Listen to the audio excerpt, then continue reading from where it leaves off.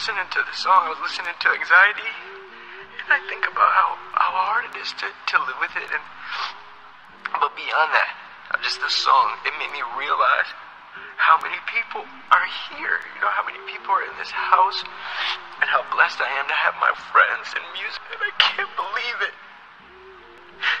Because I, I didn't have anything growing up. I didn't have anything.